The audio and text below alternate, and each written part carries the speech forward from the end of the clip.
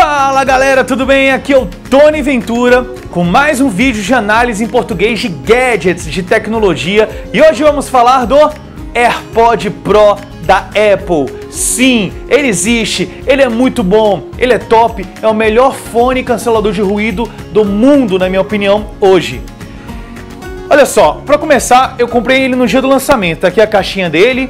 Comprei no dia do lançamento e comprei três. Um deles veio com defeito. Comprei na Apple em Nova York. Foi um parto para trocar aqui. Primeiro que não tinha lançado no Brasil ainda e assim que lançou, também eles não conseguiram trocar. Não entendi, desenrolaram lá, falaram um monte de coisa, não consegui trocar. Voltei na loja nos Estados Unidos que eu comprei em Nova York depois de uns quatro meses. Depois de umas duas horas na loja eu consegui trocar. A Apple mudou muito em relação ao serviço, a garantia do que era antigamente. Antigamente dava um problema em alguma coisa na Apple, rapidinho chegava, ele nem queria saber do problema, fala: "Não, me dá, me dá isso aqui, toma outro". Na hora o funcionário da Apple fazia isso em qualquer lugar dos Estados Unidos. Hoje Cara, demorou assim umas duas horas, não queriam trocar, só trocaram porque eu insisti muito e aí começou a funcionar. AirPod Pro da Apple, muito bom. Ele, ele vem nessa caixinha aqui, ó, tá vendo? Eu vou abrir a caixa para você. Quando você compra, ele vem com algumas borrachinhas. Borracha pequena, média ou grande, para tentar evitar aquele negócio de ficar caindo da sua orelha, sabe? Aqui melhor se adapta a sua orelha e coloca no fone para não ficar escorregando nem caindo. A bateria desse negócio aqui é muito boa. Tem a bateria do próprio fone e tem a bateria dessa caixinha aqui. Então quando acaba a bateria do fone, eu coloco aqui na caixinha e ela automaticamente, sem fio, já recarrega os fones que estão aqui dentro. Ó, vou chutar aí mais de 10 horas de bateria nesse fone de ouvido. É muito bom e é muito difícil com a bateria disso aqui. Diferente desse outro que eu comprei aqui na China, na loja da Xiaomi original, que é uma porcaria. Ele usa uma vez, por alguma razão, a bateria não se sustenta e eu tenho que recarregar toda vez que eu uso. É uma porcaria, não tem cancelador de ruídos. Esse da Apple tem cancelador de ruído. É muito bacana. Você coloca no ouvido, escuta tudo ao seu redor. Você pressiona o fone de ouvido aqui, ele dá um tira o ar todo, você não consegue mais escutar quase nada do que tem ao seu redor. Ótimo para avião, se você tem filho chorando em casa, você consegue até dormir com ele se tiver alguém roncando perto de você. Qual a vantagem dele? Por ter cancelador de ruído, você consegue escutar música mais baixa. Exatamente. Um fone normal, sem cancelador de ruído, você coloca, às vezes eu colocava a música nas alturas. Pá, pá, escutando tal, tal, tal, que era legal, música bacana se escutar alto. Nesse aqui, eu sempre fiquei com medo de ficar surdo, meio surdo com isso, né? Nesse aqui, você consegue ligar o cancelador de ruído e o som vai direto para dentro do seu ouvido. Então você pode baixar a música do seu celular e aí escutar com o volume de um ser humano normal.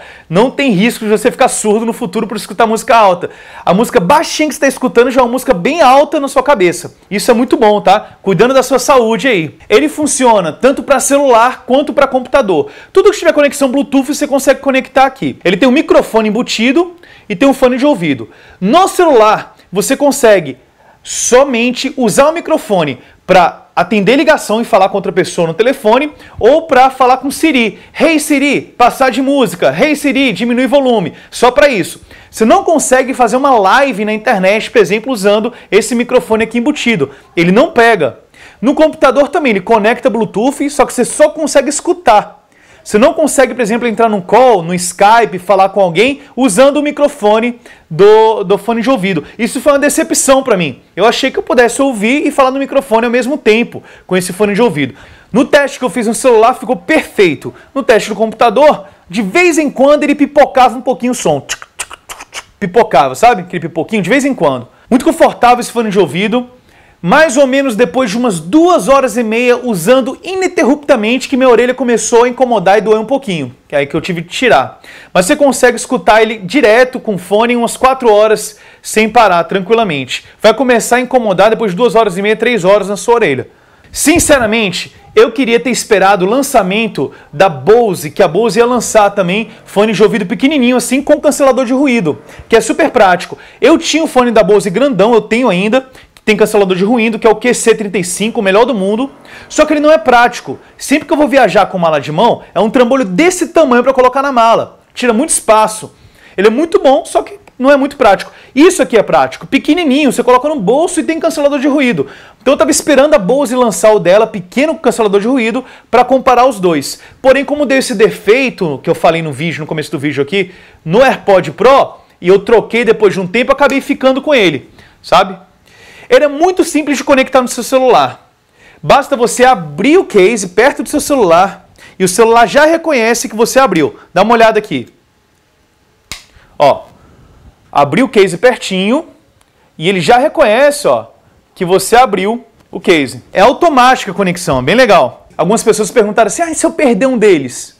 Cara, você perdeu um deles já era, tem que comprar tudo de novo. É horrível, então te dá maior aflição você dormir no avião e imagina, cair um deles e você não perceber no cantinho do avião, deve ser horrível. Quais são os comandos desse fone de ouvido? Se você segurar, pressionar, ele liga o cancelador de ruído. Pressionando novamente, ele desliga o cancelador de ruído. Isso é muito bom. Para você dar play ou pausar a música, basta clicar uma vez com os dois dedinhos aqui, ó. Um, dois, três e clicou. Clicou, play ou pause na música. Para passar de música, dois cliques. Tá, tá. Tá, tá. Passou de música. Para voltar a música, três cliques, tá? Geralmente eu faço no esquerdo. Um, dois, três. Rapidinho, um, dois, três, volta de música.